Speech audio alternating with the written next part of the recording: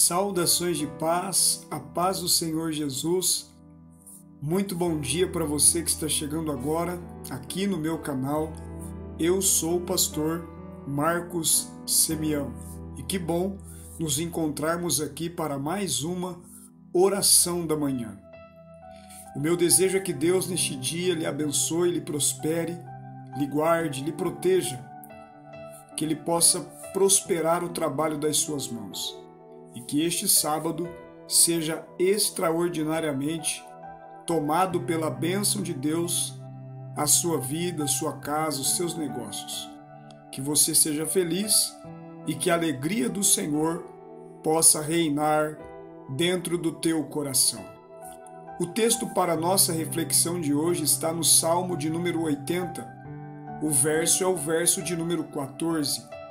Está escrito assim no texto sagrado: Ó Deus dos exércitos, volta-te, nós te rogamos, olha do céu e vê e visita esta vinha.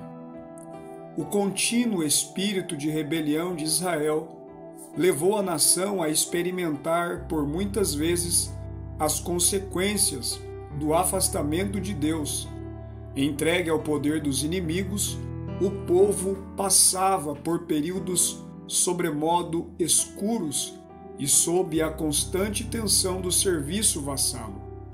Envergonhados e humilhados, os filhos de Israel eram obrigados a suportar a zombaria daqueles que deveriam respeitá-los.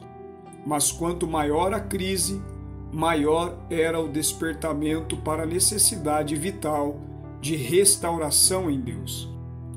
A oração de Asaf, neste salmo de número 80, em forma de louvor, apresenta pontos importantes que representam o caminho desta restauração.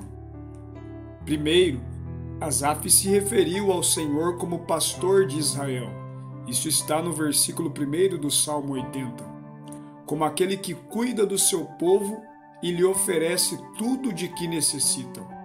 Segundo, Asaf cita o nome de José, o filho amado de Jacó, uma representação do amor do Senhor por seu povo. Em terceiro, Asaf também se referiu a Deus como aquele que está entronizado acima dos querubins, fazendo uma referência a Shekinah, a glória de Deus e a habitação celestial de Deus. Em quarto lugar, Asaf por três vezes recitou a bênção de Arão, um símbolo da obra sacerdotal de Cristo que opera para a salvação do seu povo. Em quinto lugar, ao destacar as obras de Deus no passado, o salmista apelou para a realização de uma obra de restauração no seu tempo, mesmo que motivado por inabalável confiança, Asaf sabia que somente uma obra de reavivamento e reforma resgataria o povo de uma situação degradante, caótica, para a posição que o Senhor lhe havia designado na terra. Com isto, podemos concluir que esses pontos destacados no salmo de hoje constituem a nossa jornada rumo ao lar.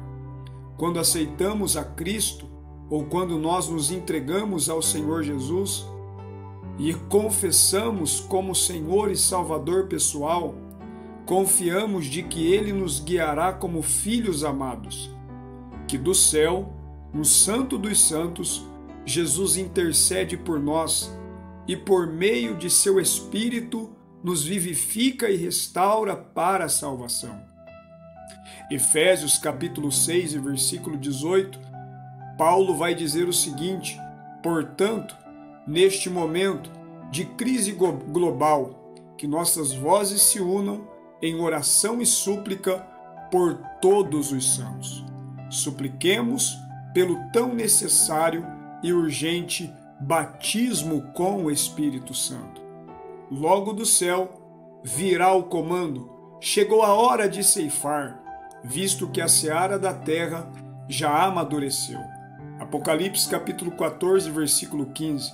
E todo o que for regado com a chuva seródia este habitará nas alturas. O seu pão lhe será dado, as suas águas serão certas, e os seus olhos verão o Rei na sua formosura.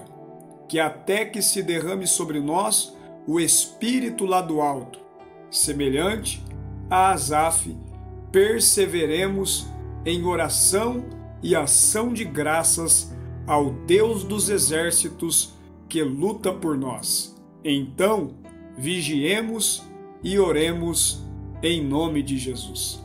Fique com esta palavra no teu coração e vamos orar a Deus.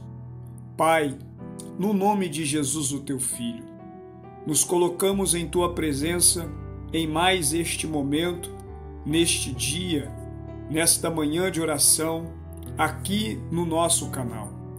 Obrigado por esta oportunidade, por este privilégio, obrigado por conceder a nós esta grata satisfação de poder te servir, de poder refletirmos na Sua palavra, meditarmos no texto que foi escolhido para a nossa reflexão deste devocional.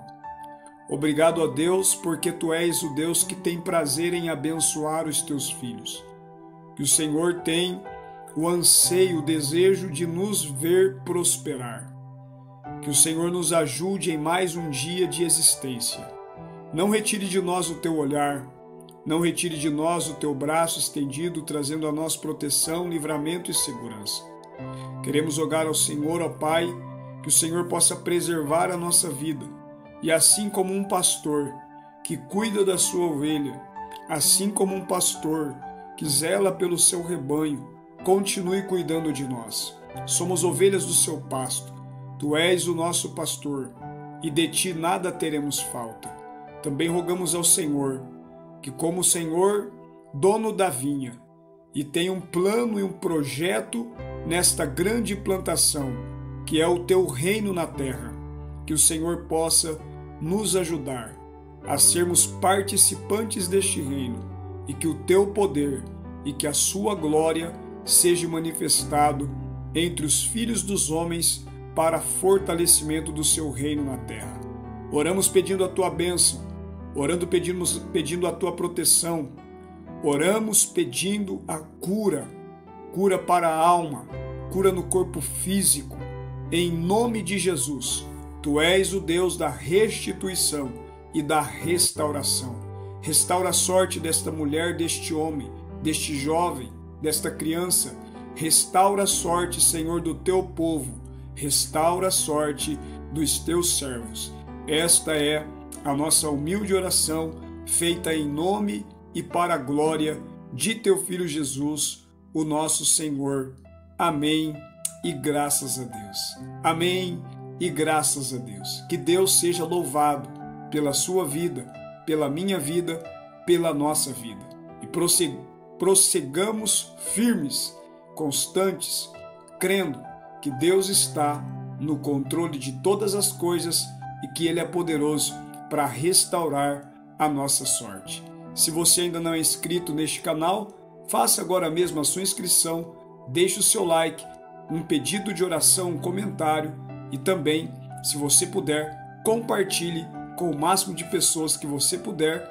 Fazendo assim, você estará me ajudando a abençoar muito mais vidas em nome de Jesus. Fique na graça e na paz do Senhor Jesus.